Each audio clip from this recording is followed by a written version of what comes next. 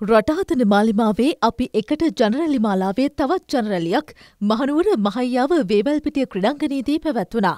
ජනාතේපති අනුරකුමාර දිසානායක මහතාගේ ප්‍රධානත්වයෙනුයි එම රැලිය පැවැත්වනේ. උතුර දකුණ සදිසාවේම මේ රටේ අතිමහත් බෞද්ධ ජනතාවගේ ආදරණීය හදවත්වල සිටින නායකයා ඒ වගේම මෙතෙක් කලක් දුකට හැඳෝ නෙත්තලට සතුටු කඳුලක් ගෙන දුන් ආදරණීය නායකයා මේ රටේ පීඩිත මිනිසුන්ගේ ජයග්‍රහණය වෙනුවෙන් උරදුන් ආදරණීය නායකයා ජාතික ජනබලවේගේ නායක ආදරණීය අණ්ඩු දිසානායක සහෝදරයා මේ ඓතිහාසික සෙන්කඩගල පුරවර මහනුවර දිස්ත්‍රික් විජයග්‍රාහී රැළිය සඳහා මහනුවර දිස්ත්‍රික්කයේ මේ බිමට සැපෙමිනෙන මොහොත මහමැතිවන්නයට මහනුවර දිස්ත්‍රික්කෙන් තරගවතින ජාතික ජනබලවේගේ අපේක්ෂක කණ්ඩායමේ ජයතහවුරු කිරීමේ ජනරැලියට විශාල පිරිසක් එක්ව සිටියා. මේ රට ඒගොල්ලන්ගේ බූදලයක් කියලා හිතාගෙන හිටපු රාජපක්ෂලා නාමල් රාජපක්ෂ මන් දැක්කයි ඒ වෙනදා කියනවා අපිව කෙදිරි ගාවන්න ටිකක් අමාරුයි කියලා. හැබැයි රාජපක්ෂලාට අපි කියනවා ඔයාලට හික් ගෑවිලා ඉන්නේ මොන කෙදිරිලිද? ආය කතා කරන දෙයක් ඉතුරු කරලා නැහැ. ඔයගොල්ලෝ ලිස්ට් එකෙත් නැහැ. ඔයගොල්ලෝ පොඩි හැච්චෝ පිහාට්ටු ටිකක් ගම්වලට එවනවා.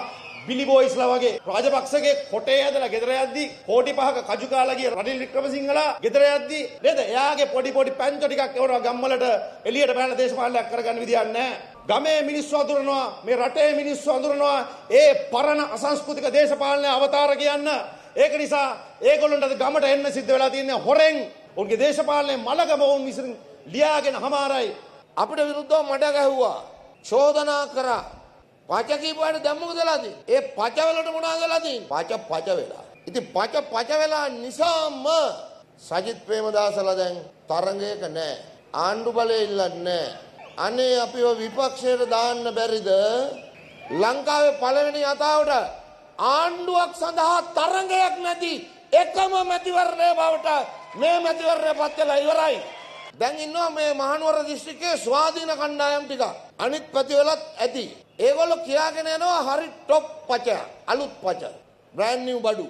ඒගොල්ලන්ට ඡන්දෙ දෙන්නලු පාර්ලිමේන්තු ගිහිල්ලා මාලිමාව වෙනුවෙන් වැඩ කරන්න. කොහොමද මේ පචේ? අවුෙන්න එපා පචයන්ට. ඉන් අනතුරුව ජනාධිපති අනුරකුමාර දිසානායක මහතා ජනරැලිය ඇමතුවා. මේ රට ගොඩනැගීම සඳහා සමත් වෙන අවංකභාවයේ තිබෙන අදූෂිත භාවයේ තියෙන මාලිමාවෙන් මේ පාර්ලිමේන්තුව පුරවන්න ඕන නොවැම්බර් මාසේ 14 වෙනිදා. මේ මහමැතිවරණ කියලා කියන්නේ දීර්ඝ කාලයක් අපේ රට පාලනය කරන ලද දූෂිත වංක පෞල් පාලනයන්ගෙන් පොදු ජනතාවගේ අතට බලය හුවමාරු වෙන බව. හැබැයි දැන් ඔබට පේනවා එම පරාජිත නායකයන්ගේ ප්‍රකාශ දිහා බලපුවාම ඔවුන් කොච්චර වික්ෂිප්තභාවයට පත් වෙලා තිබෙනවද? ඔවුන්ට මේ පරාජය කොච්චර දරා ගන්න බැරිද? ඒක ගොඩක් රිදෙන වැඩක්.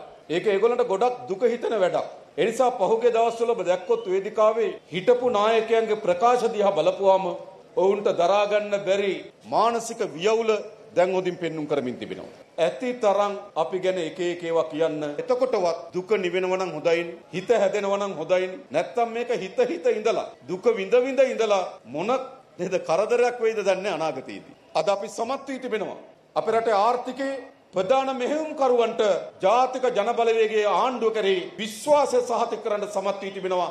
ඒකේ ප්‍රතිඵලයක් හැටියට ඩොලරය 300ට යටින් තියෙනවා. කට්ටිය හිතාගෙන හිටියේ 400ට උඩින් කියලා. අනතුරුව ඔබ දන්නවා ජනතාවගේ අත්‍යවශ්‍ය සේවාවන් අකණ්ඩව ලබා දීමේ අභියෝගය. ඔවුන් ජනාධිපති වේදිකාවේදී කිව්වා අපි આવොත් ගෑස් පෝලිම් නැති වෙයි. අපි આવොත් ඉන්ධන පෝලිම් නැති වෙයි.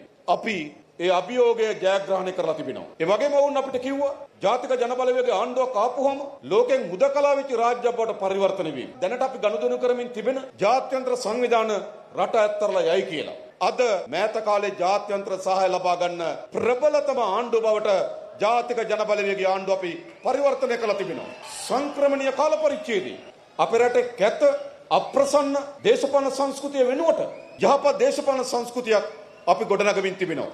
එහෙම නැත්නම් මේ මැතිවරණ ව්‍යාපාර කොහොමද වැඩ කරන්නේ? ඡන්ද කාලෙදී මුළුමනින්ම ආණ්ඩු බලය යොදවනවා. පොලිසිය මෙහෙවනවා ඡන්ද කාලේ ආණ්ඩුවට ඕන විදිහට.